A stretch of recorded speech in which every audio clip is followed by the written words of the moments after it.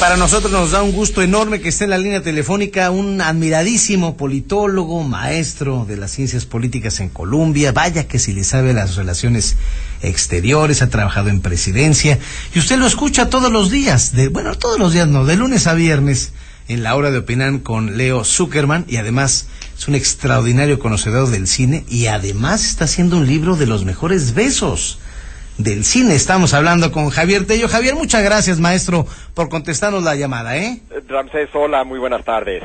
Mañana estará usted en el Foro Económico Coparmex 2015, que por cierto ya inició el día de hoy. Estará usted hablando de Enrique Peña Nieto, está salvando a México.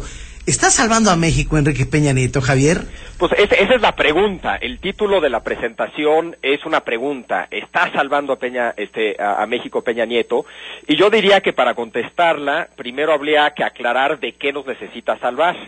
Y ahí pues puede haber una larga lista de cosas, pero yo diría que hoy por hoy hay dos grandes temas eh, que muchos sí dirían que alguien nos necesita salvar de ello. El estancamiento económico, alguien tiene que rescatar la economía mexicana de un crecimiento mediocre que lleva ya varias décadas.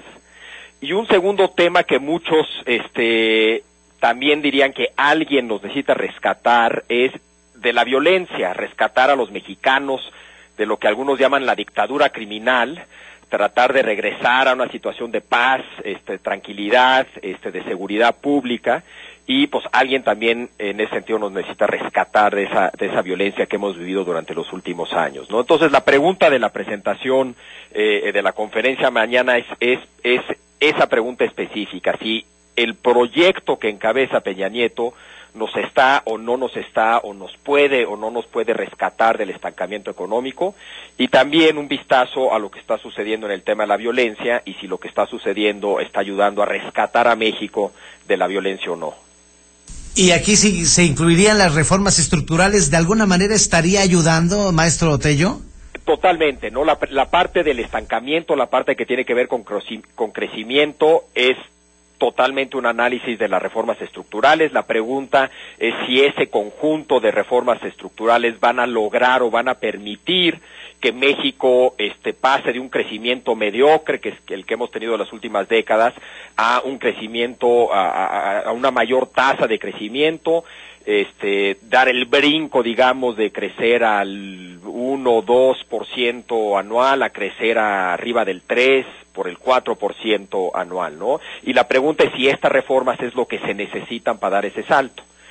¿No? Y obviamente las reformas, este, uno, hay una pregunta si son las reformas que se necesitan y si sí son las reformas que se necesitan, si se van a poder implementar de una manera que dé resultados, ¿no? Y obviamente la plática este, de mañana tiene que ver con los retos eh, que se enfrentan eh, en cuanto a la implantación. Sin embargo, maestro Tello, hay una papa caliente y eso lo está viendo la Coordinadora Nacional de los Trabajadores de la Educación. Se llevó a cabo la evaluación educativa el fin de semana.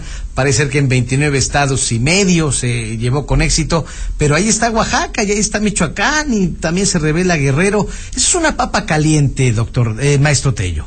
Sí, yo diría que esa papa caliente tiene que ver más con un reto político que con un reto educativo. Me queda claro que, están vinculados, que, que, el problema educativo en Oaxaca tiene una dimensión política, este, pero creo que no hay que mezclarlos este, y hay que separarlos por lo menos para propósitos de análisis. Yo te diría que el que esté sucediendo en 29 estados es algo muy positivo y hay que analizar el caso de Oaxaca aparte, eh, insisto, porque hay una dimensión ahí política que poco tiene que ver con la reforma educativa, eh, tiene que ver con un grupo eh, que se reveló del sindicato y que tiene un proyecto político muy distinto y muy particular y que eso es eso genera un problema político per se independientemente de la reforma educativa. El problema de la en Oaxaca estaba antes de la reforma educativa, ¿no? Entonces,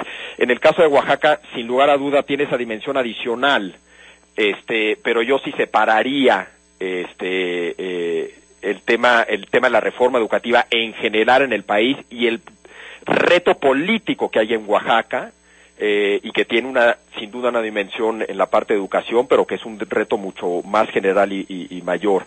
Pero, pero sin lugar a duda, las reformas en general, la educativa, pero todas las otras reformas, enfrentan retos técnicos de implantación, enfrentan retos políticos de implantación, este, y, y lo que, lo que yo espero hacer mañana en la conferencia es un poco hablar de esos retos, tanto los técnicos, eh, de, operativos, de cómo se implantan algo, algo, algo, se implanta algo así como la reforma educativa, y también hablar de los retos, de los retos estrictamente políticos que se enfrentan, ¿no? Igual tenemos una burocracia que es capaz de implementar las reformas, pero por razones políticas se dificulta la implantación, o a veces es al revés, no hay ninguna resistencia política, pero la complejidad de la reforma hace muy difícil la implantación, ¿no? Y el chiste es hablar de todo eso. Ahora, la finta que empezó a hacer el gobierno federal, en donde se manejaba para otro momento la evaluación educativa, esto era para que el 7 de junio hubiera un clima de paz en las elecciones,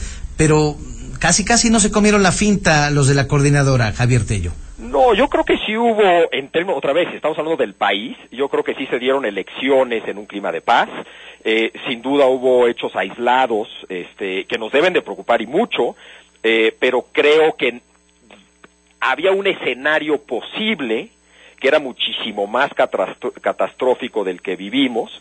Este, yo creo que el que vivimos fue un proceso electoral pacífico, fuera de ciertos lugares eh, que son una excepción. El IFE, el, el IFE logró este, instalar la mayoría de las casillas, la mayoría de la gente salió a votar y votó en paz con toda tranquilidad. Yo creo que fue una jornada electoral que salió, salió bien. Este, si el gobierno eh, suspendió la evaluación para permitir que se diera eh, la, jornada electoral en ciertas zonas de una manera más tranquila,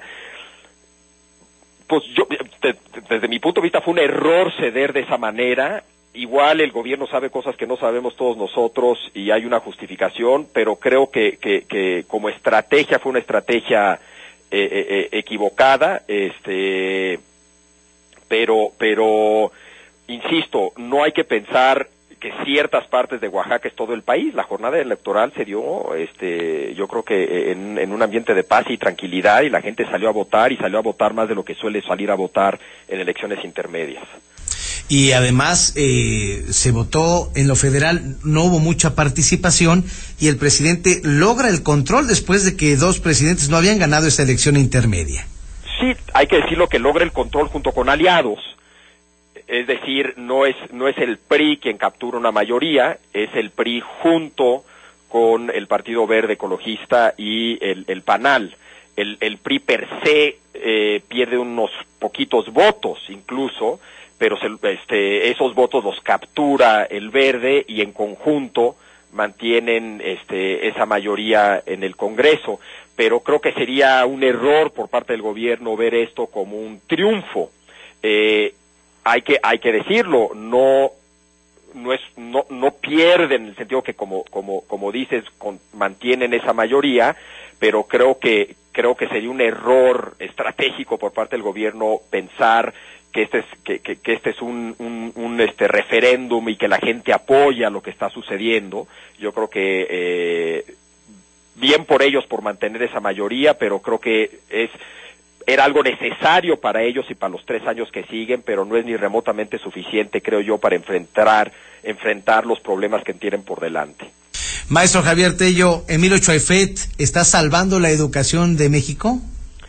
yo creo que es una reforma clave, yo creo que es una de las reformas más complejas, yo creo que es una reforma que tiene unos tiempos de maduración más largos, este, yo creo que en términos generales están haciendo muchas cosas positivas como parte de esta reforma.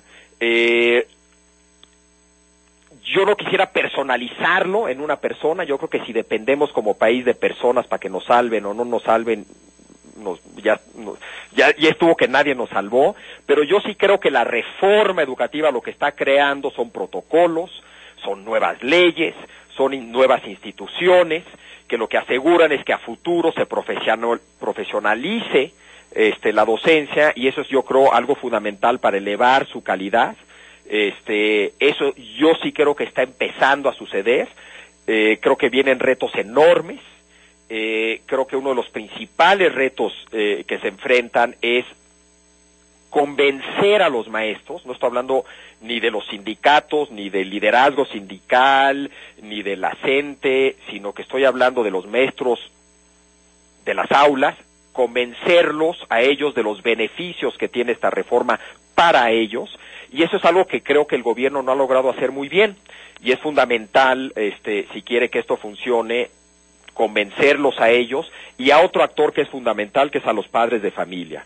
Este, el enemigo aquí este, no es la gente, eh, el enemigo aquí es el escepticismo de los maestros en general y de los padres de familia en general respecto a la reforma y yo creo que ahí la función del gobierno es convencerlos de que esta reforma este, tiene sentido y convencerlos de las bondades de las reformas. Y también en ese proceso hay que estar muy dispuestos a escuchar a los maestros y a los padres y en una de esas ajustar ciertos aspectos de la reforma, ¿no? Pero yo sí creo que muchas de las cosas que están en esa reforma son positivas, este, y que tarde o temprano, espero yo, eh, den resultados en cuanto a elevar la calidad de la, de la educación en México. Pero sin lugar a duda, sí es una reforma de muy larga maduración y, y, y de enorme, y que enfrenta enormes retos por delante. Doctor Tello, por último, para impulsar y para invitar al evento el día de mañana, que estará usted a las nueve de la mañana en la zona conurbada Veracruz Boca del Río, el presidente Enrique Peña Nieto platicó con los árabes, platicó en el, en el libanés, en el club libanés, y comentaba que estaba repuntando la economía. ¿Cómo ve esas declaraciones en el sentido de que Margarita Zavala ya se destapó, Andrés Manuel ya está haciendo campaña desde hace dos años, seguramente veremos el bronco en las boletas?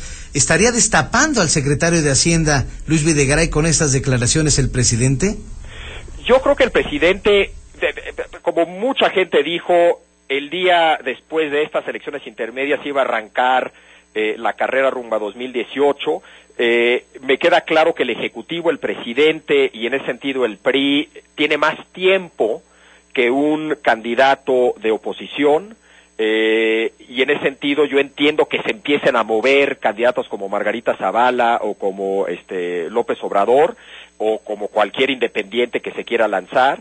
El gobierno, el PRI como partido en el gobierno creo que tiene un poco más de tiempo, pero sin lugar a duda yo sí creo que se tiene que dar cuenta eh, el presidente y el PRI que no pueden dejarlo demasiado tarde. Es decir, creo que un problema que, por ejemplo, tuvo eh, Calderón el sexenio pasado fue eso, no abrir la baraja este, con el tiempo suficiente y eso provocó que sus candidatos, que el candidato del PAN compitiera en desventaja. Eh, yo creo que ahorita, hoy por hoy, desde el arranque del sexenio, los dos candidatos implícitos de, del presidente Peña Nieto y del PRI eran sus dos grandes pilares, que era Osorio Chong en gobernación y Videgaray en hacienda. Me queda claro que después de lo ocurrido durante los primeros tres años ya no necesariamente son los candidatos obvios, este, y en ese sentido creo que se tiene que abrir un poco más este, la baraja. Cómo exactamente decide el presidente y el PRI abrir esa baraja, pues ya dependerá de ellos y hay muchas maneras de hacerlo, este, pero creo que a estas alturas conviene tener más de un candidato y sospecho que lo tienen más de uno. Tanto el presidente Maestro Javier Tello, es un deleite platicar con usted. Ojalá no sea la última vez para el público del 88.9. Mañana estaremos muy pendientes a las 9 de la mañana en el World Trade Center en la zona conurbada Veracruz, Boca del Río. Eh, Ramsés, muchísimas gracias a ustedes y a todo tu auditorio por escuchar.